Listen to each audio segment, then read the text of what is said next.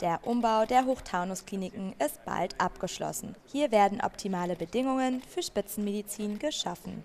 Das Krankenhaus wurde über die Jahre modernisiert, vor allem in den Bereichen Medizin, Wissenschaft und Technik.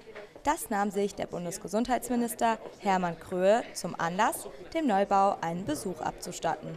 Wenn Sie sich einen der modernsten Neubauten hier eines Krankenhauses ansehen und dann an die über 100-jährige, im Fall des zweiten Standorts über 150-jährige Geschichte erinnern, zurückerinnern, wie Anfänge waren aus Chroniken oder anderem mehr, was Ihnen vor Augen führt, unter welchen Bedingungen Heilbehandlung, medizinische Behandlung hier begonnen hat und was heute möglich ist, dann ist dies eine eindrucksvolle Entwicklung in unserem Land und unsere Aufgabe wird sein, das zu sichern. Diese Wandlung nahm der Bundesgesundheitsminister heute genau unter die Lupe. Ob im OP-Saal oder in der Gastroenterologie.